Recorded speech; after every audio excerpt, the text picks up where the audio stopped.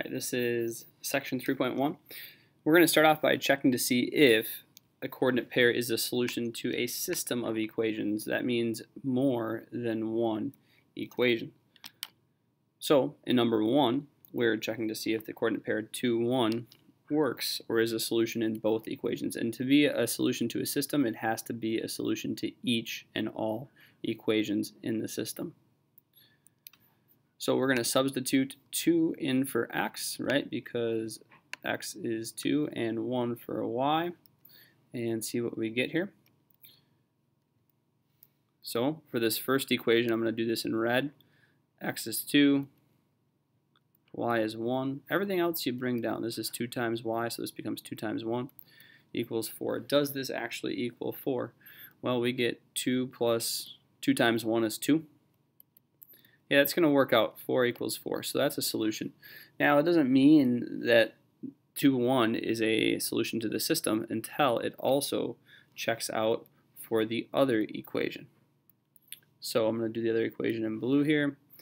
3 times 2 minus 1 is that 5. So I get 6 minus 1. That equals 5. So check. Yes. 2 comma 1 is the solution to the system.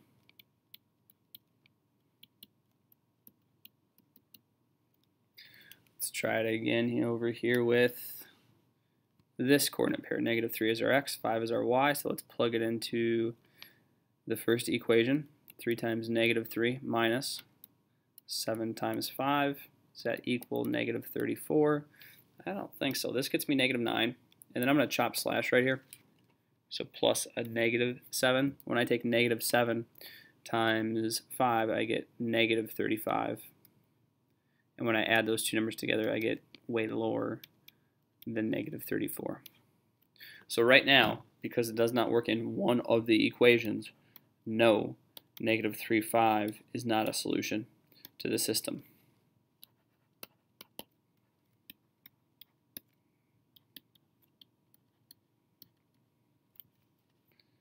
Lastly, we're trying negative 1 comma 2. Let's try it first in the top equation. So 4 times negative 1 plus 5 times 2. Does that equal 6? I think it will. You get negative 4. Remember, you're simplifying using your order of operations, or just plug it into one of our fancy calculators on the wall, and it knows the order of operations as well. You get 6, and it's supposed to equal 6, so that's awesome. So, so far it is a solution to that equation, but to be a solution to the system, it has to work in all equations here. So, let's keep going. Substituting negative 1 in for x and 2 for y. I get negative 7 plus 2. Does that equal 5? Ooh, careful if you think it does. Be careful, you're hoping too hard. That's negative 7 plus 2. That's a negative 5. And negative 5 is not equal to positive 5. One's like having $5 in your pocket. One's like oh, owing someone $5. It's not equivalent. So no, negative 1 comma 2 is not, not a solution to the system. It is to the first equation, but not to both. So it's, or not to the second, so it's not a solution to the system. All right, let's try getting solutions to systems of equations by graphing lines. That's one of the three main ways to do it especially if I see any two equations that are in slope-intercept form, I'm like, oh yeah, that's easy to graph, this is easy to graph, and then you just find their intersection. So let's do this. So the first equation has a y-intercept of negative 6, and then our slope is up 5, right 6. Up 5, right 6. And then from the y-intercept I can also go down 5 and left 6. Something like that. Might need to use a straight edge on this one, folks, uh, because it's a pretty big graph. And also finding the intersection, you want to be exact. So this is the one place, at least in my class, where I usually tell people generally just to sketch the line. Once you have the dot, sketch it. Here you might want to do more. Careful with your slope here. It's a negative slope. That negative goes on top. So it's like a negative 4 thirds. You're going down 4 for your rise into the right 3. And as you read slopes, you read them from left to right, so you should be going in this general direction, down as you go to the right. So down 4, right 3. Something like that, down 4, right 3. Hey! Boom, shakalaka. I could keep graphing the lines. I screwed that one up, down 4, right 3. But really, folks, why I'm excited is the solution to the system is where the lines intersect. So I just found an intersection. I just found the solution to the equation. It's at 6 comma negative 1. And if this is a test, summative, it's a big deal, I could take that coordinate pair, 6 comma negative 1, and substitute it in for x here and make sure I get negative 1 out for y. And I could take the negative 6 and plug it in, or sorry, the positive 6 and plug it in here for x and make sure I get negative 1 out for y.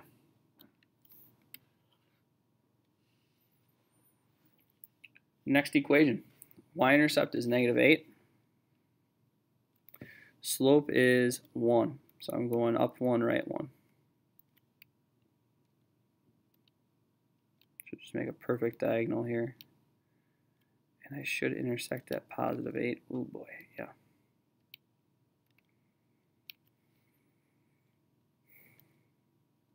There we go. And I could buzz the line. I'm going to hold off. So here the y-intercept is positive 8 and the slope is negative 3. So going down 3 right 1.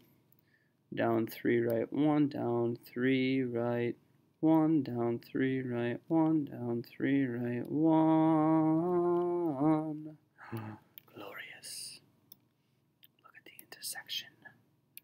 That is the solution to the systems of equations and that intersection of the two lines occurs at 4 comma negative 4. That is the solution to the system. Again, you could plug it back into each equation and see that it actually makes the equation true. It should work. Number six, eh, number six, I might actually typically use a system called substitution where I take this that is equal to y and plug it in for y. So I have an equation with just x's and numbers. And I'm not being like impartial to x's. I don't like them more than y's, but I would have an equation that has one variable. We're going to talk about that more tomorrow. The directions do say to solve it by graphing. And this second equation is easy to solve, or easy to graph, excuse me, but the second one, for many of you, you like to get it in slope-intercept form, so you need to solve for y. You need to get y by itself. First, start by undoing. I just did a little chop slash there. That's actually the first thing I should do before I start worrying about undoing is thinking about what's being done to x, or excuse me, what's being done to y, because we're trying to get y by itself, so it's in slope-intercept form. y equals mx plus b. Chop slash here, y is getting multiplied by negative 3. That minus sign affects the thing after it, so it's a negative 3. And then to the y, we are also adding 5x. Undo adding first by subtracting. Make sure you bring down a negative 3y. So negative 3y equals negative 5x. And that 21 is positive, so plus 21. Now divide by negative 3. We don't just want to undo multiplying by 3. We want to undo multiplying by a negative 3. So our new final equation here is the negatives cancel out, the 3's cancel out, y equals 5 thirds x minus 7, or plus negative 7. Either way, for this equation, my y-intercept is at negative 7. Whoa, negative 7. I'm going up 5, right 3 up 5, right 3. Up 5, right 3. I'm going to stop there. That's probably enough. So far, my points have been intersecting right on dots, so I'm just going to keep the dots for right now. And if I need to do a solid line, I will. Y-intercept of the highlighted in yellow equation is 1. I'm going up 5 and right 3. Um, right 3, up 5, right 3. Huh, this whole up 5 and right 3 thing has got me kind of worried because wasn't I going up 5 and right 3 for this equation as well too? So you know, I was kind of waiting for them to come together at some point to get closer and closer. But if I keep going up 5 and right 3 each time for the red dots, or the first line, and I keep going up 5 and right 3 for the green line, that means they're never going to get closer and closer. They're going to be parallel. And if they're parallel, unless they're right on top of each other, which they are not, uh, if they're parallel, they're never going to touch. Not going to touch. And the solution is where they touch, where they intersect. So that means in this case there is no solution. Wah, wah. Alrighty. Both of these are in slope intercept, or sorry, in standard form. You know, the funny thing about standard form is you can, now this one's going to be tough to show. Actually, they're both tough to show. So yes, we actually should solve for y. Put your x's first. It's a negative x, and it's a positive 14. Now divide by 2. So my slope is negative 1 half. My y-intercept is 7. So y-intercept is 7. Down 1, right 2. Down 1, right 2, down 1, right 2. So on, so forth. I was going to calculate the x and y intercepts. Um, and I calculated that the when y is 0, x is 14 which would be right there. But then it gets hairy trying to graph a straight line between um, a dot or with a dot that's not on the graph. Yeah, you can always do that. Like here, I know my y-intercept. When x is 0, the y-intercept is negative 2. Boom. But here you get a me uh, messy fraction for your x-intercept. So let's subtract 5x off to undo that. So minus 5x. So we get y equals negative 5x minus 2. So the y-intercept, as we said before, was negative 2, but now we go down 5, right 1. Down 5, right 1, down 5, right 1, mm, 5 plus 7 is 12.